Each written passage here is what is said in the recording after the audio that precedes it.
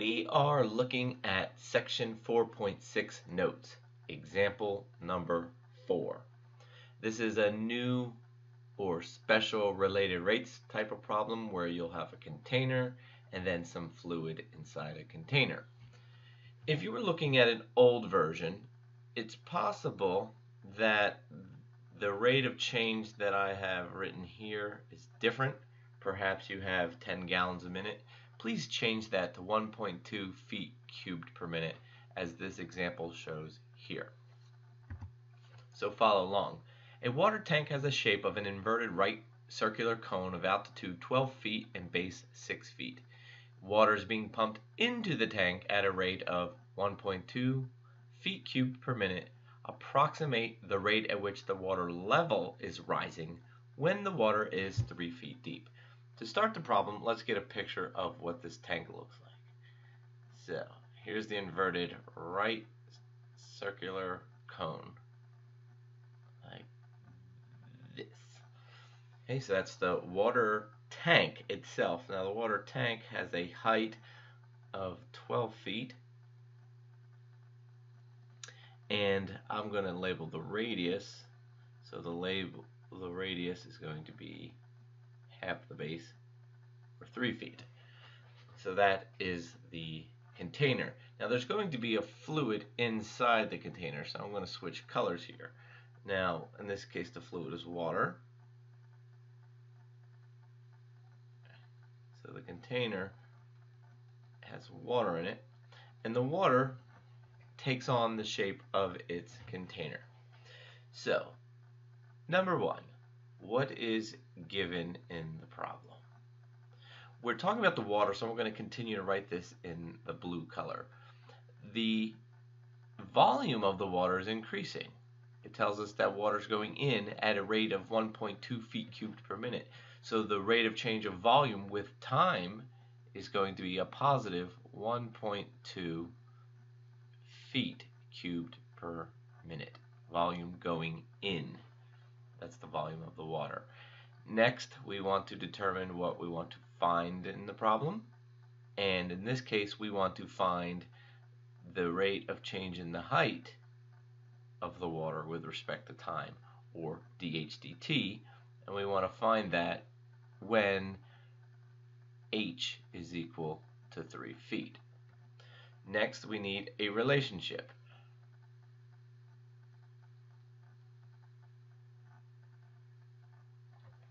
Okay, we need to relate the V volume to the H, and we know that volume of a cone of this sort is going to be one third pi r squared h. There's the relationship. Now we have a slight problem. If I went through now and found the derivative of this relationship, you would see that you're going to have a dv dt in it, you're going to have a dr dt in it, and you're going to have a dHdt in it. The problem with that is we have no information about dr dt, the rate at which the radius is changing. That's what makes this problem different. So, with that being said, we need to find r in terms of h so that we have the correct variables for the given information. So, what we need to do in this type of problem is come over and I'm going to look at a cross section of the container with the water. So I'll grab the blue. See that? Um, if you analyze this, you may see we have similar triangles where the um, height of the container is 12, that's fixed, and the height, oh, so sorry, the radius of the container is fixed at 3. But the water uh, dimensions are not fixed. They will change as the water continues to come in. So we're going to say that the height of the water is h. That will change, and when it changes, it needs a variable name. And the radius of the water is r.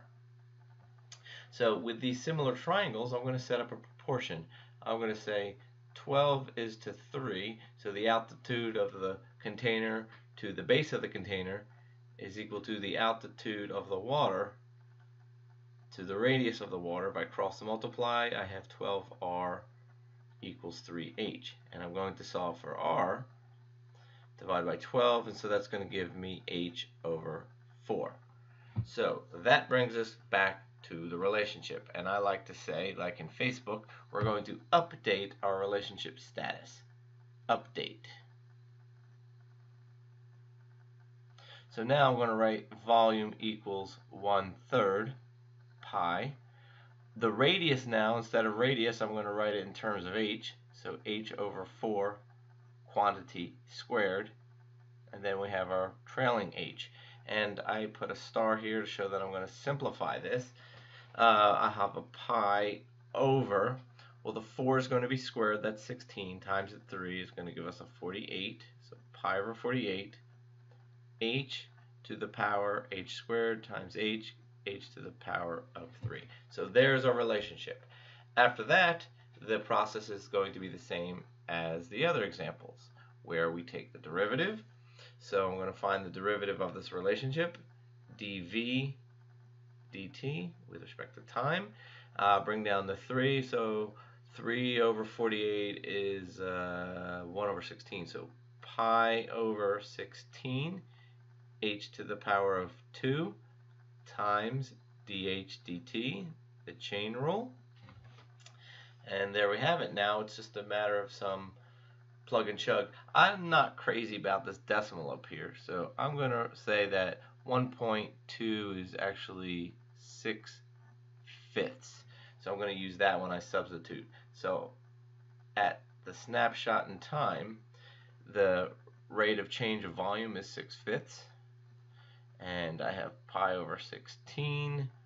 My h at the snapshot of time is is 3. Oh, that doesn't look like a 3. That's better. 3 squared. And dh dt is what we're trying to find, the rate at which the water level is rising. Uh, beyond that, it's just simplifying or solving for dh dt. And that's going to come out to be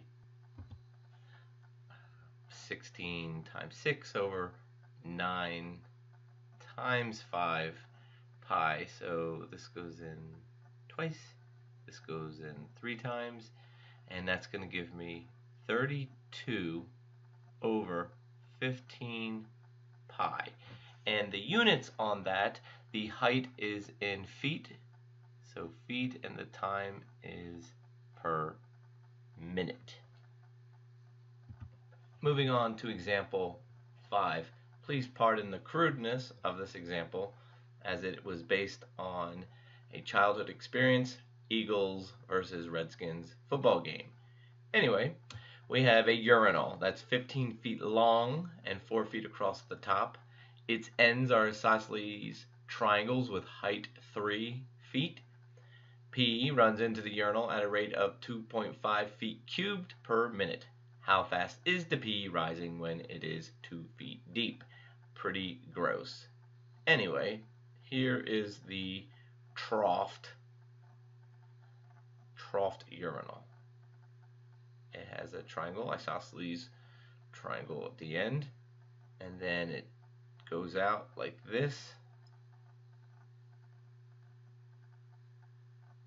Comes down like that. See the trough. I'm not sure how it's balancing, but there is the trough.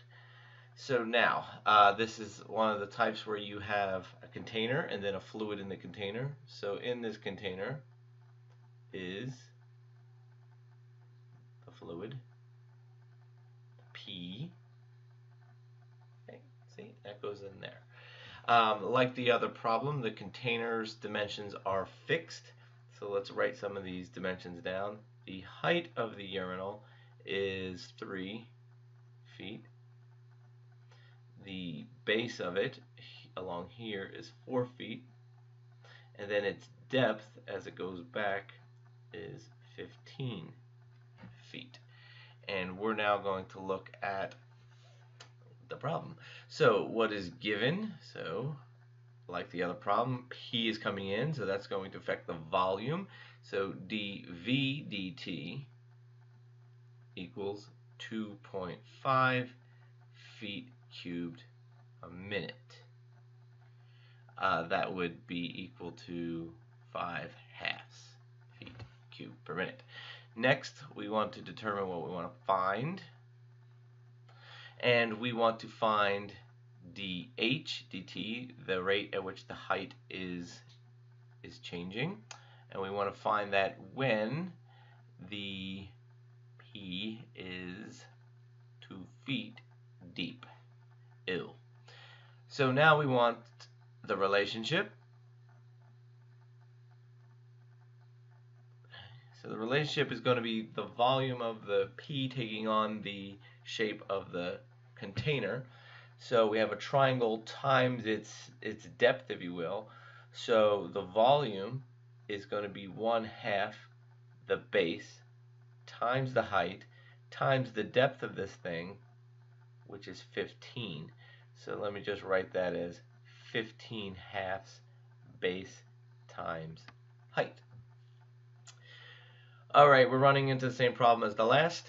We would have a dv dt, and after the product rule, we would have a b, uh, sorry, a db dt and a dh dt, but we do not have information on db dt. So we're going to have to set up a proportion. Change my color. Alright, so if I look at the cross section here,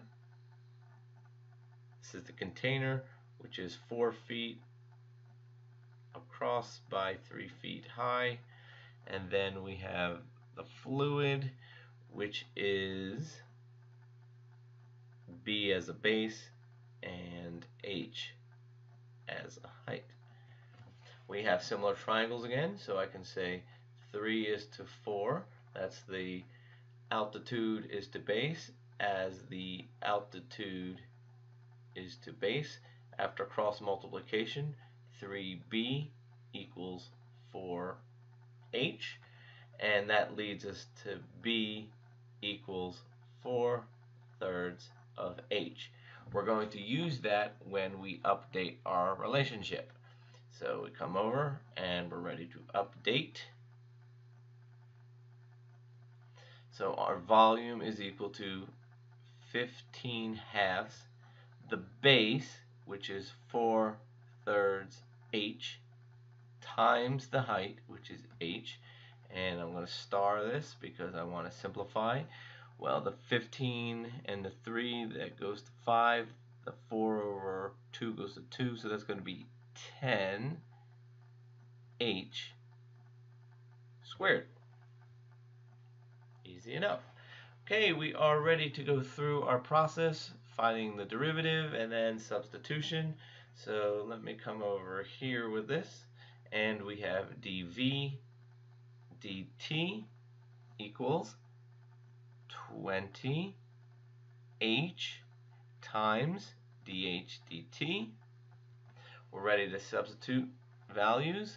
5 halves is the given dv dt. 20 at a snapshot in time. The height is 2, and it is at that time we want to find dh dt. So I'm going to simplify here. I'm going to divide both sides by 20 times 2. So that's going to be equal to 1 over 16 after I simplify. And that's going to be feet per minute. That is the end of example 5.